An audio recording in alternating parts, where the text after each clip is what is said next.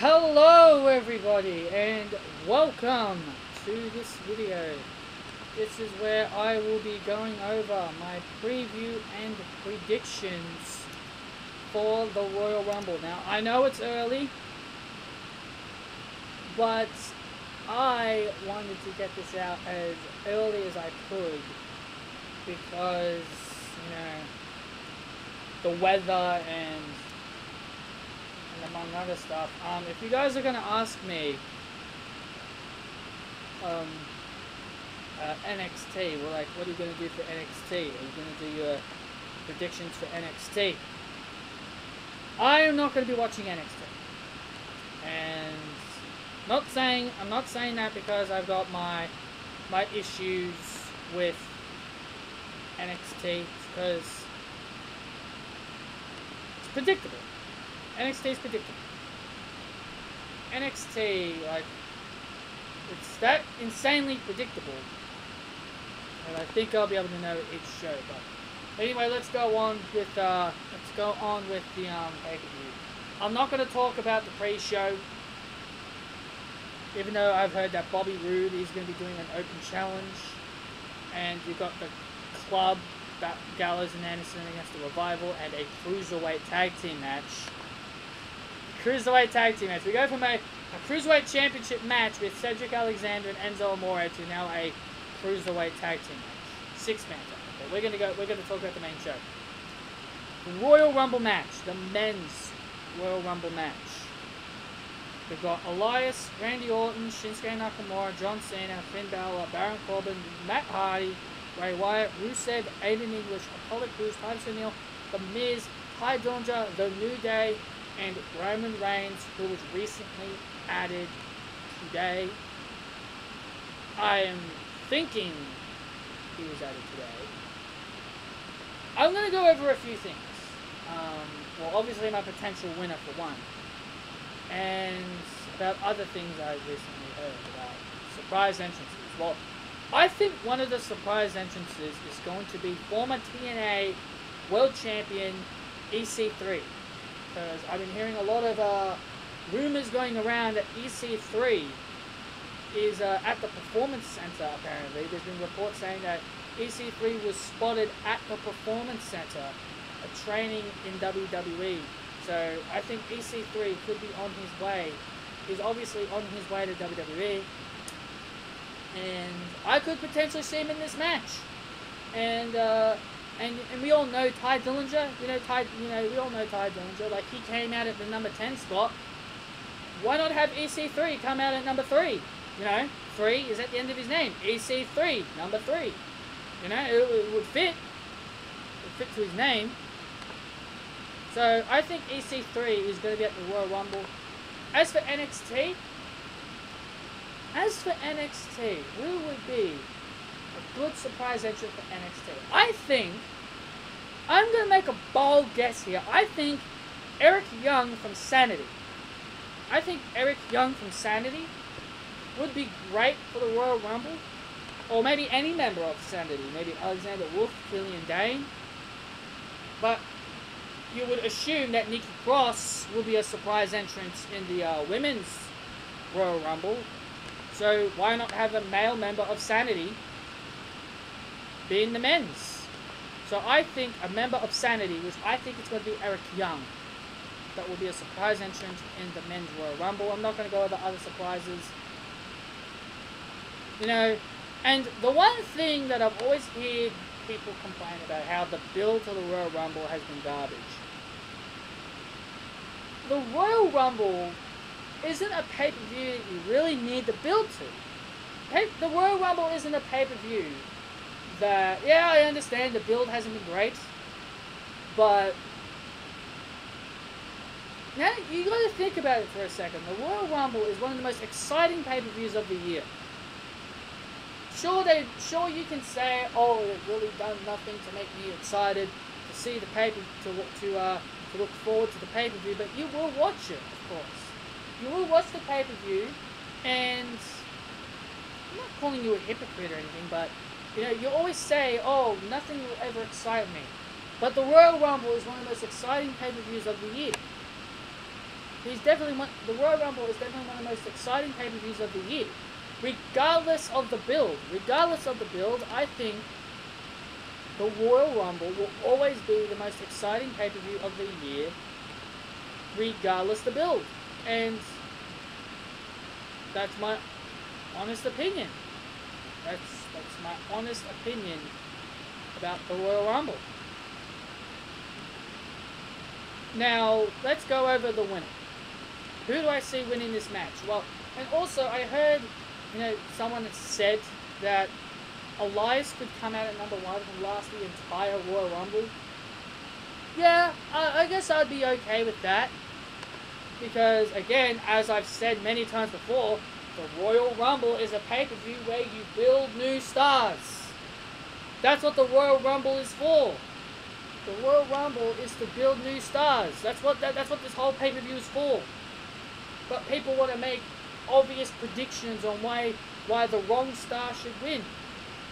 Or why this certain guy must win over others. But yes, I understand on most of the degrees of the turn of the terms, but I'm just saying, you know, it's there to build new stars. That's what the Rumble's meant to do. So, yeah, I'm okay with the Elias idea because I've been I've been saying for for, for weeks now, oh, the Royal Rumble is there to build new stars. Like if I rejected this idea, then people be be against my claims, you know. Oh, you only said that for the women's. Yeah. But yes, Elias, I'm okay with that him coming out at number one and lasting the entire thing, yeah, I, I'm okay with that. But I know it won't happen. If he comes out at number one, he'll most likely in the end get eliminated by John Cena. Whether early or late. The Women's Royal Rumble. The Royal Rumble that everybody was shitting on. The Royal Rumble that everybody was shitting on it's the most hated thing right now because people just don't want, because people just don't like something different. Now, I always hear the word force being thrown around. I don't find this forced at all. Like, who cares if this was all about the women's revolution? Honestly, who cares? I've always heard, I mean, like, it's so stupid, like, how I've like I've always had people tell me way before the women ever got any of this stuff, way be- years before women ever got this stuff. Like I always had people tell me why women need to start, why, why WWE need to start giving women more matches besides singles matches and tag team matches and all those traditional matches that the women always had. Well, back then they were called divas. But people think that people think that, oh, well, you know, we need women to start, you know, being more like the guys. Like, I always hear people say that. Like, women, the women need to be like the guys. And they're doing that. And they're doing that right now, and everybody is shitting on it because they think it's the wrong time to do it. There are 18 women in the match. It would have been 19 if Paige didn't get injured. I'm not blaming that on Sasha, but it would have been 19 if Paige didn't get injured. And same thing for and same thing for the uh, Raw one. It would have been 19 as well if Joe didn't get injured. So let's go over the participants. You got Naomi, Asuka, Ruby Riott, Natalya, Sasha, Bayley, Mandy, Sonya, Carmella, Tamina, Lana, Liv Morgan, Sarah Logan, Mickie James, Nia Jax, Becky Lynch, Alicia Fox, and Dana Brooke. As I always say, the Royal Rumble is to build new stars. That's what it's there for. It's to build new stars. It's to build new talent, up and coming talents. It's what this thing's for. Now I'm hearing people, you know, saying why Sasha Banks and all them shouldn't win. Sure, I understand that they've had championship matches before, what? So yes. What? So so if Asuka, let's say if Asuka had five women's championship opportunities within one year, and and would you guys say she should win the Royal Rumble? Let's just say that. Let's say Asuka gets five women's championship opportunities, and she loses all five. Or like she's a multi-time women's champion, and she's had so many opportunities, Would you still want Asuka to win a Royal Rumble? Huh? Would you still want Asuka to win a Royal Rumble if she was a multi-time women's champion? I bet you would. I bet you would. Just like Roman Reigns, Asuka doesn't need the women's Royal Rumble.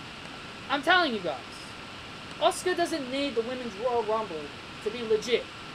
What, just because she's going to get her ass thrown over the top rope and uh, both of her heat hitting the floor, that's going to immediately bury Asuka, right? That's going to ruin her physique. She's, if she gets thrown out, it's not going to affect her undefeated streak.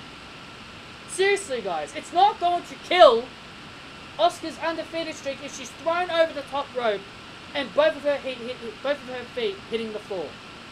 It's not going to kill. It's not going to kill her. But no, it's going to kill her according to all the Asuka fans. To kill her if it's the Asuka, to the Asuka fans. Sure, I understand Sasha and Bayley have had opportunities. But but I hate how everybody might I just hate listening to how everybody is saying, "Oh, Os it must be Asuka. It must be Asuka." You know? I mean, like we've got it. I mean, like we've got plenty of stars. You know, phone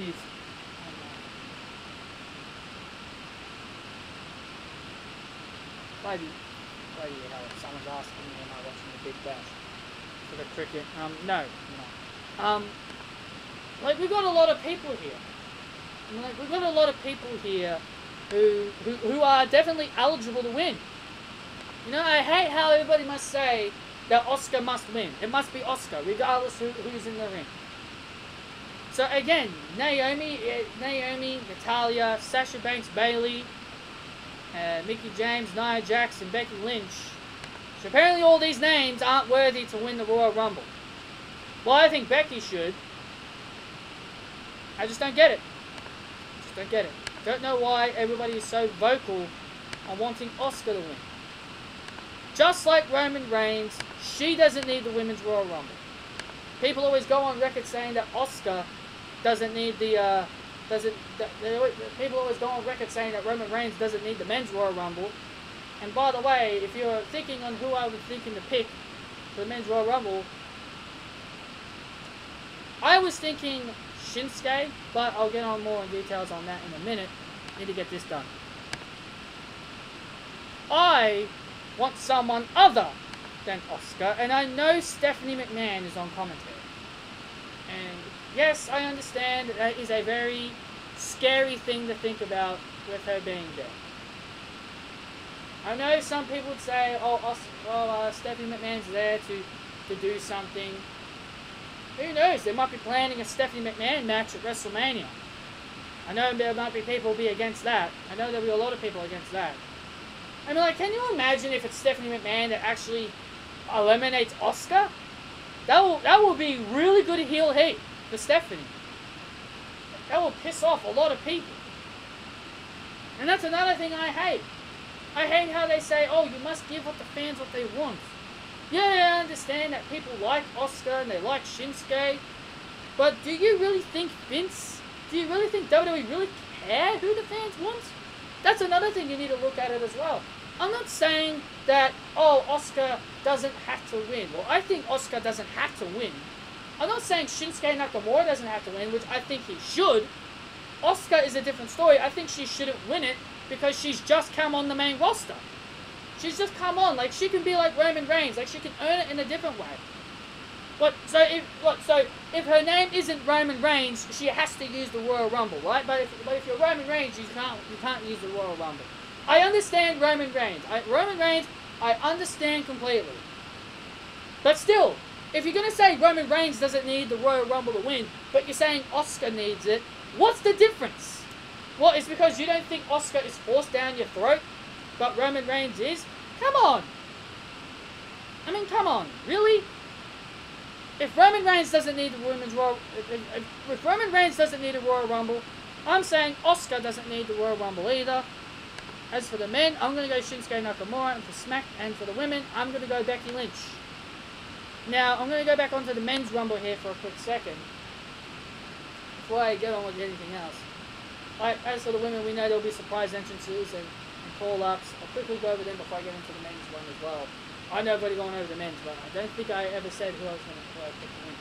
Now, obviously, now obviously the women that we saw at Raw 25 will possibly be the people that we that, that will enter the match, except for Maryse and Maria, and maybe except Terri Runnels. But we'll find out more about that in detail. Now, as for the men, I can see why people are nervous that Roman Reigns could win this, but I honest, but as what I said for Asuka, if people think that Roman Reigns doesn't need the Royal Rumble, same thing does same thing goes for Asuka. She doesn't need the Royal Rumble. So John Cena, people are saying John Cena could win.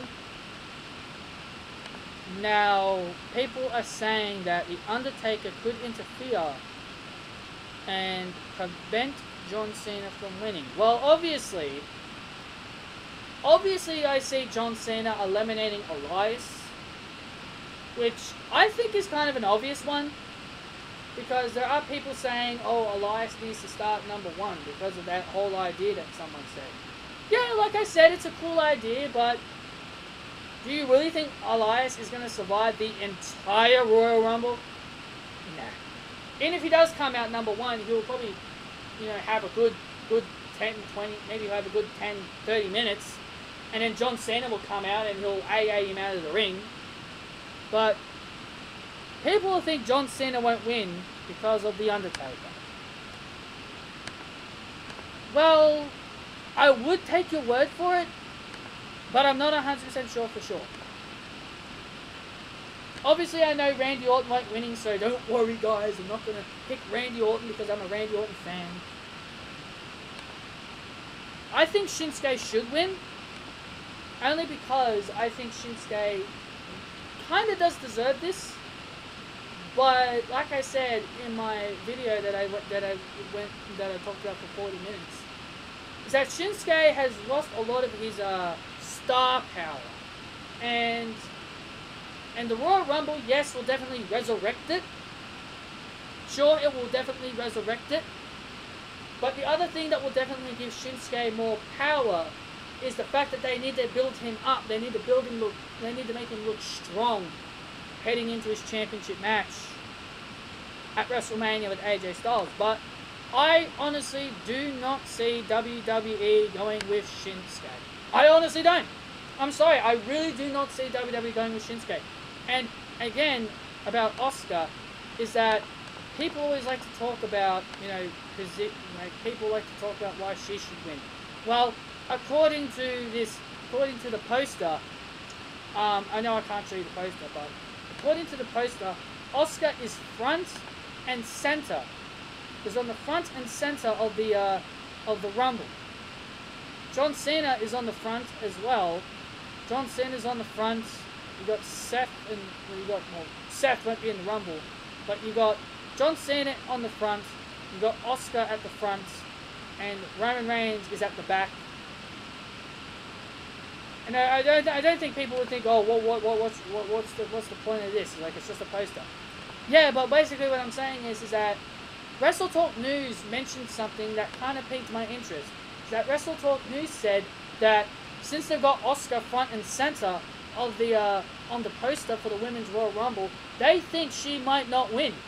They think she may not win because she's had because Asuka has all the momentum heading into WrestleMania, heading into the Royal Rumble, which is why I think Asuka could not win. May not win. I think she may not win because of that alone.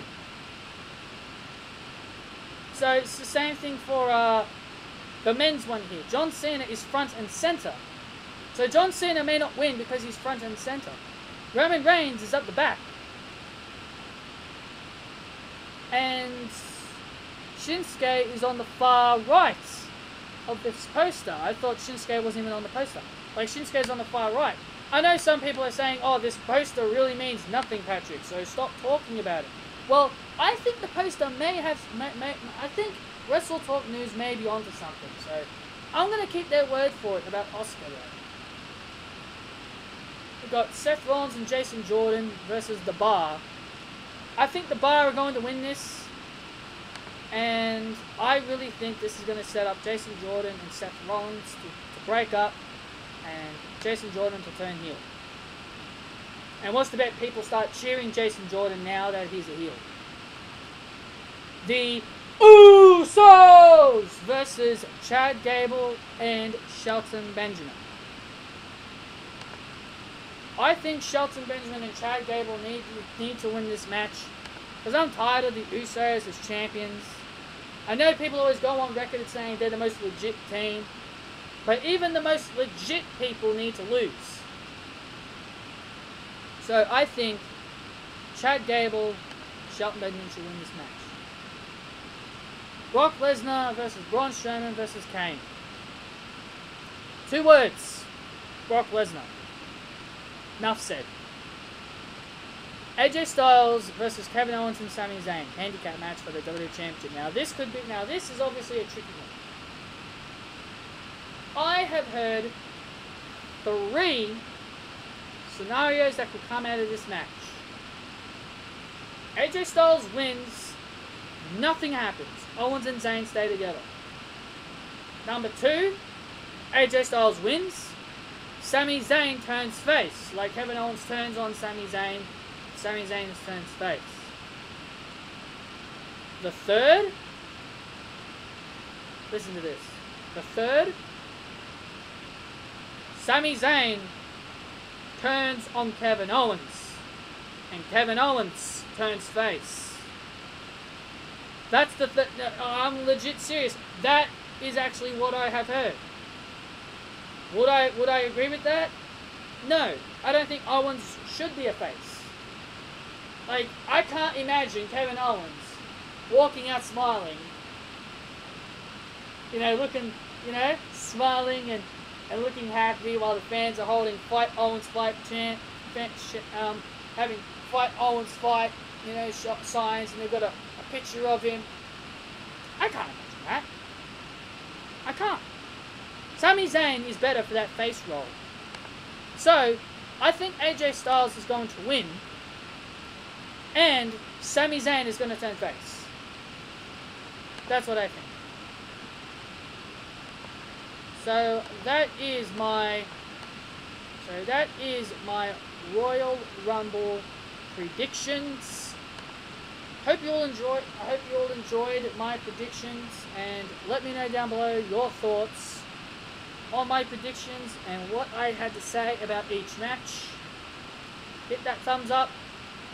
Like I said, comment down below your thoughts. Subscribe if you're new as well, and also hit the bell so you'll be notified when you know when when my when this video when my next video comes up. So guys, this has been Patrick Ballantine for your for my Royal Rumble preview, my predictions. Hope you all enjoyed it. See you all next time, guys.